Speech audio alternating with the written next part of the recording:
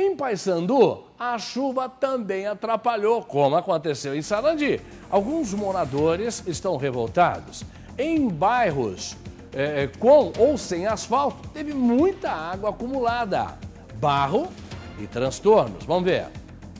Dona Ângela aproveita que a chuva deu uma trégua para tirar o barro que ficou na calçada. Onde ela mora, em Paysandu, só existe a promessa de asfalto e quando chove a situação fica assim. A gente sai, pisa em barro, o carro sai, entra, faz barro. E a gente tem que lavar, né? Limpar.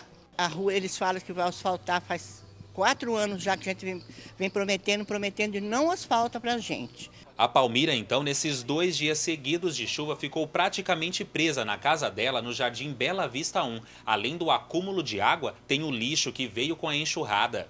É barro puro, quando não é barro, é poeira. Aqui, quando chove, não, não sai de dentro de casa de jeito nenhum. Mas os problemas com a chuva não acontecem somente nos bairros que não têm asfalto. Aqui na avenida principal do Jardim Pioneiro, que é asfaltada, quando chove, fica assim alagada. Isso porque aqui tem dois bueiros, mas todos estão entupidos. Entope todos, o bueiro entupido, né? E a água aí, ó, entra dentro do meu prédio ali, ó. É, tá, até hoje mesmo, essa noite entrou água dentro do prédio, né? E eu tá uma firma aí e os caras sempre reclamam, né? Cansada de conviver com tantos problemas, Lourdes tem uma pergunta para o prefeito. Vou dar um recado para ele, se o povo do Bela Vista não paga imposto. Por que, que nós somos obrigados a viver que nem porco aqui no meio de salame, no meio desse lodo aqui? É justo isso?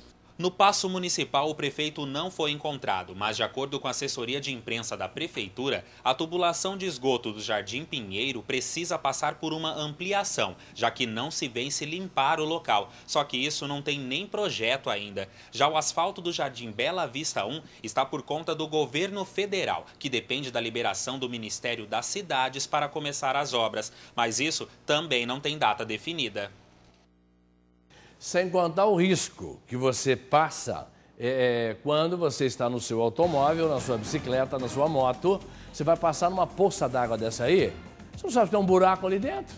Tem a imagem do, do, do tiozinho passando de bike ali, ó.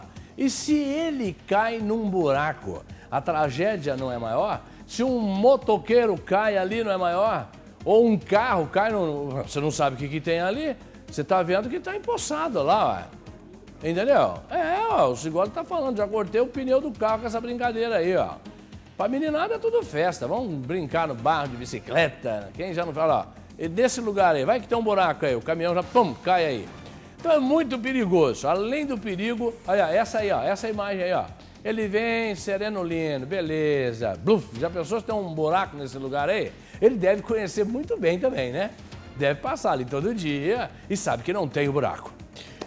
Então tá aí, o povo tá reclamando, é o povo na TV.